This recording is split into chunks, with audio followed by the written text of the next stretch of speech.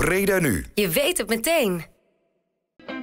Op het terrein bij NAC zijn bandjes, foodtrucks en er is vooral heel veel muziek tijdens United Tunes. Er zijn jongeren aan zet en doen zij mee aan verschillende workshops.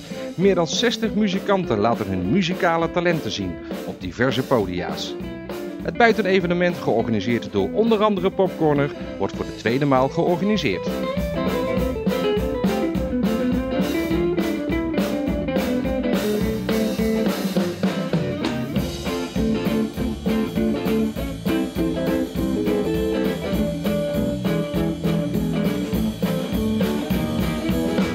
Vanuit Tunes, het festival wat we voor de tweede keer organiseren.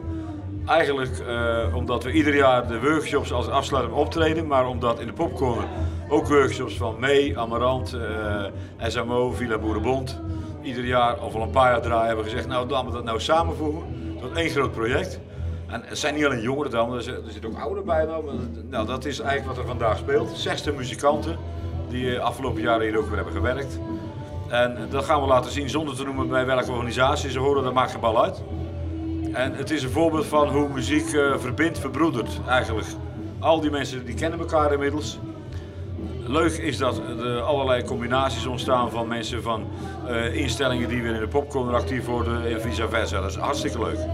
Dat is een beetje de achtergrond van United Tunes. Vanuit muziek, jongerencentrum, popcorner.